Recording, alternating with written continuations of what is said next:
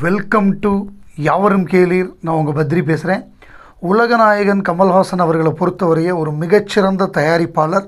அவருடைய பெரும்பாலான படங்கள் 99% நைன் பர்சன்டேஜ் ஆகுத படம் ராஜ்கமல் எடுத்த படமெல்லாம் மிகப்பெரிய வெற்றி பெற்ற படங்களாக தான் இருந்திருக்கு. அதே மாதிரி கிரிட்டிக்கலி அக்ளைம்டாக அதாவது குவாலிட்டி என்டர்டெயின்மெண்ட் கொடுக்கக்கூடிய ஒரு தயாரிப்பாளராக இருந்திருக்காரு. ஸோ அவர் வந்து அவருடைய டார்கெட் என்னங்கிறத அவர் தான் முடிவு பண்ணுவார். ஸோ அந்த மாதிரி இடத்துல இருக்கார். அடுத்தவங்களுக்கு சம்பளம் கொடுக்குற இடத்துல இருக்கார் அவர். ஸோ அப்படி பார்க்குறப்ப விக்ரம் படத்தை பொறுத்தவரைய கேரளாவில் மிகப்பெரிய ஒரு டிமாண்டு மிகப்பெரிய ஒரு எதிர்பார்ப்பு ஏற்பட்டிருக்கு. கேரளாவில் உலகநாயகன் கமல்ஹாசனுக்கு ஆயிரத்தி தொள்ளாயிரத்தி எழுபதுகள்லேருந்தே மிகப்பெரிய மார்க்கெட் உண்டு. அவருக்குன்னு ஒரு பெரிய ரசிகர் பட்டாளம் உண்டு. அவர் நேரடியாக வந்து ஏன் மலையாள படங்கள் நடிக்கலை சாணக்கியனுக்கு அப்புறம் அப்படின்னு கேட்குற ஏராளமான ரசிகர்கள் உண்டு. ஸோ அப்படி இருக்கிறப்ப இந்த விக்ரம் ப திரைப்படத்தை பொறுத்தவரைய ஷிபு தமீன்ஸ் அவர் தான் அந்த படத்தை வந்து கேரளாவுடைய விநியோக உரிமை வாங்கியிருக்காரு. அவர் ஏற்கனவே கேஜிஎஃப் ரிலீஸ் பண்ணவர். நிறைய பெரிய படங்கள் ரிலீஸ் பண்ணவர். இருமுகன் மாதிரியான படங்களை தயாரித்தவர் ஸோ அப்படிப்பட்ட ஷிபு தமின்ஸ் என்னன்னா கேரளாவில் வந்து மொத்தம் அறநூற்றி முப்பத்தி ரெண்டு தேட்டர் இருக்குது அதில் நானூறுக்கும் மேற்பட்ட திரையரங்குகளில் வந்து விக்ரம் திரைப்படம் வெளியில் இருக்குது வ வெளிவர இருக்குது ஃபோர் ஹண்ட்ரட் ப்ளஸ் ஸ்க்ரீன்ஸு நெருக்கி நானூற்றம்பது தேட்ரு பாக்கி இருக்கிற ஒரு ஒன் செவன்ட்டி தேட்டர்ஸ் தான் வேறு படங்கள் ரிலீஸ் ஆகும். ஸோ அந்த அளவு அங்கே மிகப்பெரிய டிமாண்டு மிகப்பெரிய எதிர்பார்ப்பு. அதே சமயத்தில் கேரளாவில் ஃபஸ்ட்டு ஃபேன் ஷோ அப்படிங்கிறது அதாவது வேர்ல்டுலேயே வந்து ஃபஸ்ட்டு ஃபேன் ஷோ புக்காக இருக்கிறது அப்படிங்கிறது கேரளாவில் தான். பாலக்காடு அரோமா தேட்டரில் மார்னிங் சிக்ஸ் ஏஎம் ஜூன் மூணாம் தேதி அன்றைக்கி ஃபேன் ஷோ அதுக்கு இப்போவே டிக்கெட் புக்கிங் ஆரம்பிச்சிட்டாங்க. ஸோ அந்த அளவு அங்கே வந்து கிரேசினஸ்ஸு விக்ரம் ஃபீவர் ஆரம்பிச்சிருச்சு அப்படின்னே சொல்லலாம். தமிழ்நாட்டை பொறுத்தவரையே தூத்துக்குடி கேஎஸ்பிஎஸ் தேட்ரு அவங்க வந்து ஏர்லி மார்னிங் ஃபோர் ஏஎம் ஷோவை கன்ஃபார்ம் பண்ணியிருக்காங்க. ஃபஸ்ட்டு அவங்க தான் இப்போ கன்ஃபார்ம் பண்ணியிருக்காங்க. அதுக்கப்புறம் போக போக மற்ற தேட்டர்கள் எல்லாருமே ஒவ்வொன்றா வரும். அதுவும் இந்த ட- டீஸ் இது ட்ரெய்லரும் ஆடியோ லான்ச் வந்ததுக்கப்புறம் இன்னும் பயங்கரமாக இருக்கும் அப்படிங்கிறது தான் நம்ம எதிர்பார்ப்பு. புக் மை ஷோ டிக்கெட்டு அதில் வந்து நம்ம ஒரு படத்தை பார்க்கணும் அப்படின்னா நமக்கு நம்மளோட இன்ட்ரெஸ்ட்டு அது மாதிரி எவ்வளோ பேர் இன்ட்ரெஸ்ட் காமிக்கிறாங்க.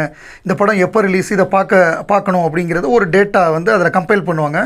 அதில் வந்து விக்ரம் படத்துக்கு two million plus interest two million people வந்து show showing their interest to watch the movie but ஆனால் அதற்கு போட்டியாக பார்த்தோன்னா கேஜிஎஃப் டூலாம் ஒன் மில்லியன் பீப்புள் தான் அந்த இன்ட்ரெஸ்ட் ஏற்கனவே காமிச்சிருந்தாங்க. அதே மாதிரி பார்த்தோன்னா இப்போ இது டாக்டர் ஸ்ட்ரேஞ்சாக இருக்கட்டும் இவருடைய மகேஷ் பாபுவோட மே மே மாதம் வரக்கூடிய சர்க்கார் வாரிப்பெட்டா அந்த படமாக இருக்கட்டும் அதெல்லாம் வந்து ஃபிஃப்டி மே ஃபிஃப்டி லேக் அந்த ரேஞ்சில் தான் இருக்குது ஸோ விக்ரம் வந்து வே பியாண்டு மிகப்பெரிய எதிர்பார்ப்பு எதிர்பார்ப்பில் இருக்குது உலகமெங்கும் அப்படிங்கிறது இதுலேருந்தே நம்ம தெரிஞ்சுக்கலாம். இது நார்த் இந்தியாவில் ப்ரமோ நேத்திக்கு ஆரம்பிச்சாச்சு. நேத்திக்கு வந்து கபில் சர்மா ஷோவில் உலகநாயகன் கமலஹாசன் கலந்துக்கிறதுக்காக பாம்பே போயிருக்காரு அப்படின்ன உடனே அந்த வீடியோ ரிலீஸ் ஆன உடனேயே இப்போ ஏர்போர்ட்டு வீடியோ ரிலீஸ் ஆன உடனே பரபரப்பாயிடுச்சு. அப்புறம் கபில் சர்மாவோட தலைவர் நிற்கிற மாதிரியான போஸ்ட் கொடுக்குற மாதிரியான வீடியோ அது எல்லாமே சேர்ந்து நார்த் இந்தியன் மீடியா ஃபுல்லாக பட்டு பயங்கரமாக படத்தை பற்றின விஷயங்களை வந்து ரிலீஸ் பண்ணுறாங்க அதாவது முதல்ல வந்து நார்த் இந்தியன் அதை வாங்கினாங்க. அதாவது நார்த் இந்தியன் தேட்டரிக்கல் ரைட்ஸை வந்து பெண் இந்தியா வாங்கினாங்கங்கிற தகவல் காலையில் வந்தது. அது வந்தவுடனே மத்தியானத்துலேருந்தே ஆரம்பிச்சிட்டாங்க நார்த் இந்தியன் மீடியா அந்த இன்ஃப்ளூயன்சர்ஸாக இருக்கட்டும் அந்த ட்விட்டரில் உள்ள முக்கியமான ஹேண்டில்ஸாக இருக்கட்டும் எல்லாமே வந்து ஃபுல்லாக விக்ரமை பற்றி தான் இப்போ போடுறாங்க. விக்ரம் ஜூன் மூணு ரிலீஸ் ஆகுது. அதிகமான தேட்டரில் ரிலீஸ் ஆகும். ஹிந்திலையும் நார்த் இந்தியாலையும் ஏன்னா பெண் பென் இந்தியா வாங்கியிருக்காங்க. ஸோ அந்தளவு அது வந்து ஜ- அவர் வந்து ட்ரிபிள் ஆரை ரிலீஸ் பண்ண டிஸ்ட்ரிபியூட்டரு படத்துக்கும் மிகப்பெரிய டிமாண்ட் இருக்குது டிஸ்ட்ரிபியூட்டர் மட்டுமே வந்து ஒரு படத்தை பெருசாக ரிலீஸ் பண்ணிட முடியாது. அந்த படத்துக்கு டிமாண்ட் இருக்கணும். அந்த படத்துக்கு எக்ஸ்பெக்டேஷன் இருக்கணும். படத்தில் கண்டென்ட் இருக்கணும். ஸோ அது எல்லாமே வந்து விக்ரமில் இருக்கிறதுனால அவங்க வந்து மிகப்பெரிய விலை கொடுத்து வாங்கியிருக்காங்க. காம்படிட்டிவ் ப்ரைஸ் வேறு ஒருத்தர் கேட்டதை விட கூட கொடுத்து வாங்கியிருக்காங்க. முதல்ல கோல்டு மைன் ஃபிலிம்ஸ் வாங்கும் அப்படின்னு சொல்லியிருந்தாங்க. இவங்க அதை விட காம்படிட்டிவாக கூட கொடுத்து வாங்கியிருக்காங்க. ஸோ அப்படிங்கிறப்ப படத்தை வந்து மிகப்பெரிய லெவலில் கொண்டு போய் சேர்ப்பாங்க. அதுக்கு மு மிக முக்கியமாக முதல்ல மே ஃபிஃப்டீன்த் வரக்கூடிய trailer launch and audio launch இருக்கும். அதுக்கப்புறம் அது பெரிய லெவலில் ரீச் ஆகும். அங்கே வந்து நிறையா இந்த மாதிரி இன்டர்வியூஸும் கொடுப்பாங்க. கபில் சர்மா ஷோக்கு கொடுத்த மாதிரி அடுத்தடுத்து வெவ்வேறு சேனல்லையும் கொடுப்பாரு. ஸோ அப்படி கொடுக்குறப்ப அது பெரிய லெவலில் மக்கள் மத்தியில் கொண்டு போய் சேர்க்கும். அது தேட்டர்களுக்கு மக்களை வர வைக்கும்.